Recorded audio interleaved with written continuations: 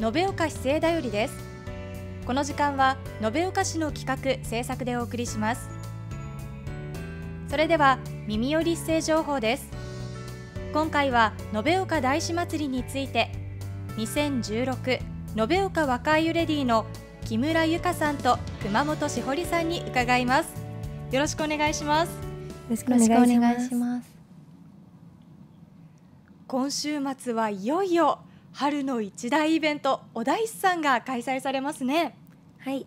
延岡の春の風物詩お大師さんはさんさんと心つながるお大師さんをテーマに4月15日金曜日から17日日曜日までの3日間にわたり開催されます。毎年多くの人でにぎわうお大師さんは九州三大春祭りの一つに挙げられ今山での催し物をはじめとして上り猿物産展や市内各地でさまざまなイベントが行われます。各商店街で見立て細工の展示が行われるほか道行く人にお接待をする接待所も設けられます。今年はどんな見立て細工が登場するのか楽しみですね。お大師さんといえばパレードですが熊本さん今回の見どころを教えてください。はい。今年のパレードはおよそ40団体約1500人が参加する予定です。17日日曜日の午後1時に旭化成の若富地区工場前を出発し山下新店街アーケードや中央通りを通って終点のイオン延岡店西側に到着します。パレードには兄弟都市である福島県いわき市の皆さんが参加する大名行列をはじめ日南市から矢五郎丼という大きな人形などが参加します。私たち2016延岡若あゆレディもパレードに参加して盛り上げていきたいと思いますので声援をよろしくお願いします。多彩な内容で楽しみですね。続いて木村さん上り猿物産展ではどんなものが出展されるのか教えてください。はい。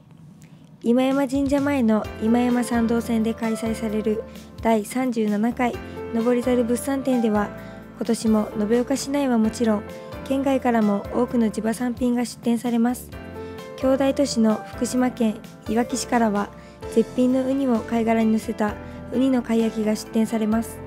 友好都市の福岡県柳川市からはうな巻き竹田市の名家工場の月佐伯市からも雪んこ寿司やごまだしうどんなど地域自慢の地場産品が出展されますのでぜひお越しください。普段食べられないものばかりなのでぜひ行ってみたいですね。では熊本さんお大師さん開催中の注意点を教えてください。はい。大師祭期間中は交通規制が行われますのでご注意ください。上り猿物産展のため今山神社参道線が16日の午前5時から17日の午後9時までの通行止めとなります。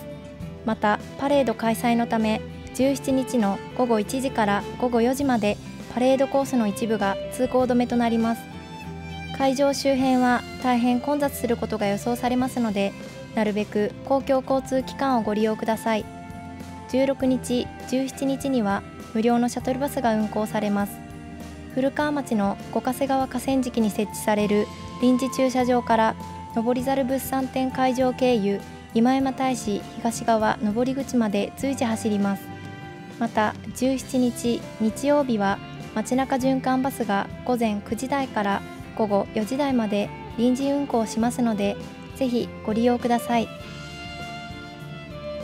今回は延岡大師祭りについて2016延岡若ゆレディの木村さんと熊本さんにお話を伺いました。お二人ともありがとうございました。ありがとうございました。それでは延岡市役所からのお知らせです。現在延岡植物園で開催中のフラワーフェスタのメインイベントが4月24日日曜日午前10時から開催されます。午前中にカントリーダンスやフラダンスキッズダンス九州保健福祉大によるエイサーのステージイベントのほか先着500名に若あゆレディによる花の苗のプレゼントやハーブティーとクッキー山菜料理のお接待などが行われます。午後からはひむか太鼓連盟による春らんまん太鼓祭りひむかの響きがあります。会場は駐車場に限りがあり混雑が予想されます。なるべく乗り合わせの上ご来場ください。詳しくは都市計画課までお問い合わせください。最後に佐伯市からのお知らせです。まもなくやってくるゴールデンウィーク。佐伯市で行われる注目イベントをご紹介します。5月3日から5日は大分県マリンカルチャーセンターでマンボウフェスタ2016が行われます。施設のプールには早くもマンボウがお目見え。皆さんのお越しをお待ちしています。会場では楽しいステージイベントのほか美味しいグルメも勢ぞろい。詳しくは大分県マリンカルチャーセンターのホームページをご覧ください。5月5日は佐伯インターチェンジ近くにあるコスモタウンフリーモール佐伯駐車場で佐伯市新茶祭りが行われます。